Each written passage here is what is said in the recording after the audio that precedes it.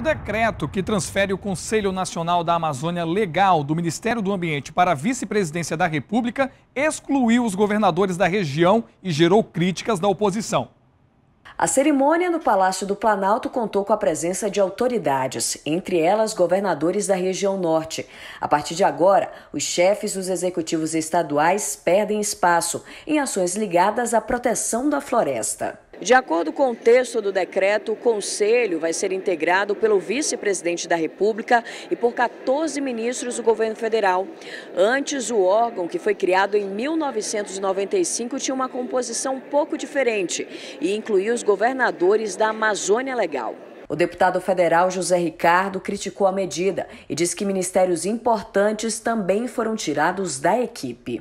Olha, eu considero um grande retrocesso, né? Esse novo decreto, falando dessa composição do Conselho da Amazônia, ao retirar os governadores, retirar aqueles que estão governando cada estado da Amazônia, você já deixa de ter a participação, a fala, a experiência, as ideias, sugestões de quem administra os estados. O parlamentar diz que já preparou uma documentação que vai ser encaminhada à Comissão da Amazônia na Câmara dos Deputados. A intenção é que o decreto seja revisto. E o presidente do novo conselho, o vice-presidente Hamilton Mourão, disse que a exclusão dos governadores se deu por uma questão de custos financeiros, mas garantiu que todos serão ouvidos se as questões em debate no conselho tratarem dos respectivos estados. E os nossos correspondentes pelo interior trazem as principais notícias do Amazonas no Giro pelo Interior. Em Manacapuru, no Baixo Solimões, a dispensa dos jogadores do Princesa dos Solimões, vice-lanterna do campeonato amazonense com apenas três pontos em seis jogos, causou tumulto no clube. Os atletas alegaram que não tinham para onde ir e queriam acertar a rescisão contratual antes de saírem da concentração onde moravam.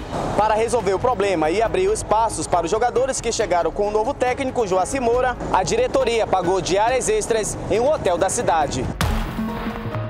Em Borba, um homem de 50 anos foi preso suspeito de estuprar e manter em cárcere privado a enteada de 20 anos. Os abusos aconteciam desde os 9 anos, quando a mãe saía para trabalhar. Em São Gabriel da Cachoeira, um homem de 38 anos, indígena, foi preso suspeito de estupro de vulnerável contra a própria filha de apenas 9 anos. Segundo a polícia, o crime aconteceu em janeiro, quando o homem dormiu na casa da ex-companheira, que tem medida protetiva contra ele. Em Barreirinha, na região do Baixo Amazonas, a chuva que atingiu a cidade nesta quarta-feira causou prejuízos em vários bairros da cidade. A escola estadual Padre Seixas, educandário que atende aproximadamente mil alunos, teve as dependências tomadas pelas águas. A gestora informou que as aulas dos três turnos foram suspensas e devem retornar somente nesta quinta-feira. De acordo com moradores, o acúmulo das águas se deu por causa do desnível de ruas recentemente recapeadas. A Defesa Civil informou que os os danos foram apenas materiais. De Parintins, Rony Belchior para o jornal Em Tempo. E o Tropical Hotel de Manaus foi vendido por 260 milhões de reais no Rio de Janeiro. O hotel de luxo foi adquirido por um empresário de São Paulo, de acordo com o auto de arrematação. O documento estabelece um prazo máximo de 20 dias corridos para o depósito desse preço, que deve ser feito até o dia 2 de março. O complexo está fechado desde maio do ano passado e já com as atividades comerciais suspensas depois do corte do fornecimento de energia em consequência de uma dívida de 8 milhões de reais. E você vai ver a seguir: Instituto de Pesquisas da Amazônia quer incluir plantas medicinais nos estudos e na produção de medicamentos. E ao vivo você vê imagens da Arena da Amazônia, onde daqui a pouco acontece Manaus-Coritiba pela Copa do Brasil. São 18 horas e 37 minutos. Voltamos já.